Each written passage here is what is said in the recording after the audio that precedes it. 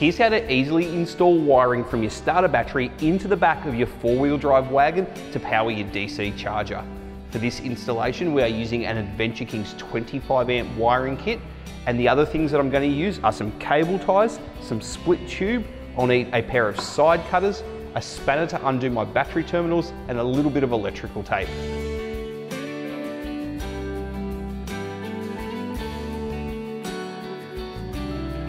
Okay, so very first step, pull the fuse out of the fuse holder. We'll put that in at the very last step and we're all done. So before I install this, I'm gonna put some split tubing on it. This does a couple of things. First of all, it protects physically the cabling. We're gonna be running this down and underneath the vehicle, so if any stones or rocks or sticks flick up while you're traveling, it's physical protection for the cabling. The second thing it does is, well, it looks a bit nicer, a bit more of a factory finish. So here's a good tip. Here's how you put this split tubing on. Get the end of the tubing, feed it onto the cable, and then just start pushing. This stuff is uh, 22 millimeters in diameter. There's a little bit of extra room in here, but that's good because it means it goes on nice and easy. Cool, split tube on. Now, good little bit of practice here is a little wrap of electrical tape every six, eight inches, something like that. Just helps stop the split tubing from coming off but conversely, if you need to then get to the wiring at some stage, do some uh, diagnosis or add another bit of cabling into the circuit, all you've got to do then is just cut down these small bits of tape and you've got access again. Now you notice I stopped wrapping tape about halfway down. That's because we're going to run this down the chassis rail and pop it up into a grommet inside the vehicle once we go through that grommet, we don't need that split tubing. It's mainly for protection under the vehicle. So I am gonna shorten that split tubing. And then once I know the length of how far I need the actual cabling to be, how long I need it to be, I'm gonna shorten the cable and recrimp it because obviously the shorter the cable run, the better it is at uh, carrying power through. There's two ways that you can get this cabling inside the vehicle. The first and probably the most typical way is a firewall grommet. Now I'll show you that up on screen right now. They look like this. I will say this though, what you'll need to do is poke a hole through it to feed your cabling through, but you need to be careful because in most cases, these grommets have all the cabling and the factory wiring coming from the ECU passing through them. So if you go in there with a knife and cut a couple of those cables, I promise you, you will invent new languages to swear in because you'll be in a world of hurt. So please go nice and slow. Uh, and once you get that cabling through, a little dab of silicone to seal it all back up is a good idea. What I'm going to do, however, is I've got a very nicely located grommet in the floor of the tub in the uh, rear footwell there. So I'm gonna go along the chassis rail, I'm gonna cable tie it in place. I'm actually gonna poke it up rearwards in there.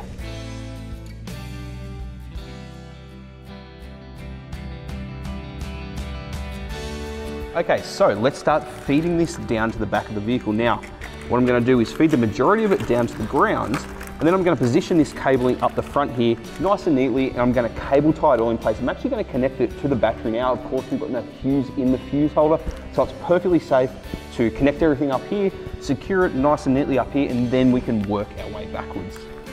So you can see here that I'm just taking my time to work the cabling up as neatly as possible. I'm trying to follow as much uh, factory wiring as possible because it'll give me somewhere uh, nice and easy to cable tie everything to. The important thing to know is you should be avoiding anything that is excessively hot, so exhaust manifolds, turbos, that sort of stuff, anything that can melt wiring. And I guess the other important thing here is that we want to avoid any moving parts. So cable ties do two things. Firstly, they obviously neaten your install up, but the second and probably more important thing they do is uh, strategic placement of cable ties prevents cabling from moving. Cabling that moves or has excess tension on any joints or connectors or curves or whatever is going to be much more prone to failure and is going to fail a lot quicker than if you take your time and secure all your cabling so it doesn't move around while you're traveling. Okay, so the trick here now is to get the cabling back to where you're going to get it into the vehicle Again, avoiding any excess heat sources, in particular, well, I've got the exhaust running down this side here. And physically protecting the cabling as well. So I'm going to uh, do my best to get it up sitting on top of the chassis rail.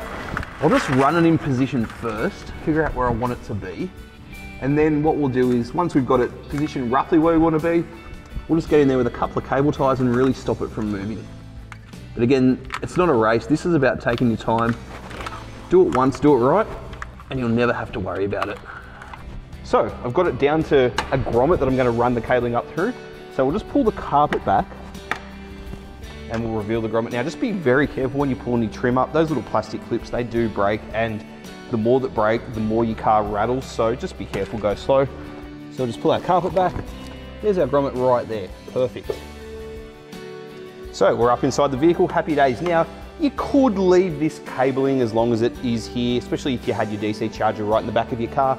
But mine's sitting right here, just behind this uh, C-pillar here. So just for a little bit better electrical performance, I'm gonna shorten it, just cut it to length. So I'll just sort of rough in how long I need, which is, yeah, I think that's about plenty there.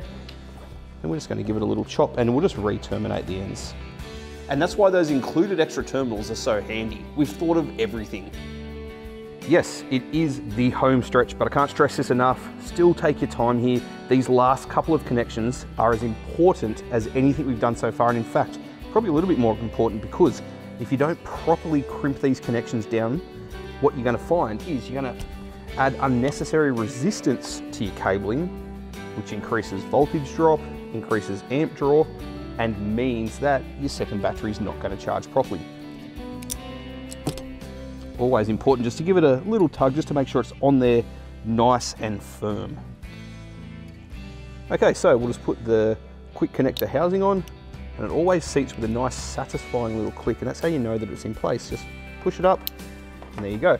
So the last thing I'm gonna do is just take a bit of time just to feed this up to, well, I've got my DC charger already installed here and I've actually um, hard mounted the quick connect plug here underneath this little shelf that we've made up. So all I'm gonna do is just connect it in place so I know where it wants to, where I wanna feed it. And then I'm just gonna take the time to just hide it up behind a few of these little trim pieces here and then happy days. So remember that excess cabling that I cut off the end that I didn't need? Well, I'm gonna put it to good use. It's the perfect length to run from the output of my DC charger down to my battery. So I have a little mini fuse holder that I had sitting around here. Uh, it's only a short run of cabling from the DC charger down to the battery, but you should always protect any run of cabling from short circuits. So I'm just gonna wire it in line now. This is um, 8 mil squared cabling, which means that we need uh, an eye terminal that will accept 8 mil cable, but the MIDI fuse holder is only a 6 mil post, so you need a 8-6 eyelet to add onto it.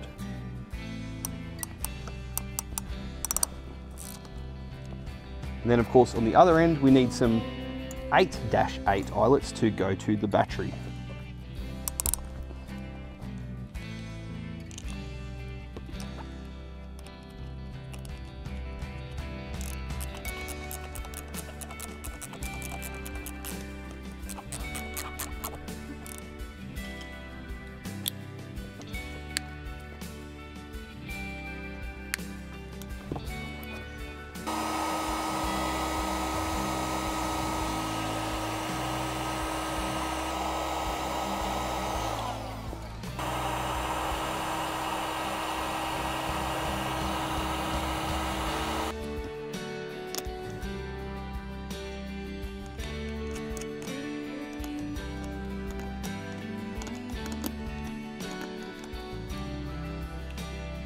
And there we go, the perfect little connection from the DC charger to the battery. Now, one final step and we are done.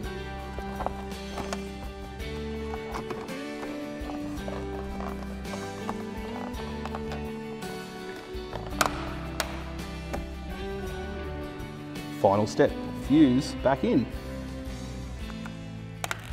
And that's it. That's the King's 25 amp wiring kit installed into the back of a four wheel drive wagon. I told you it would be easy.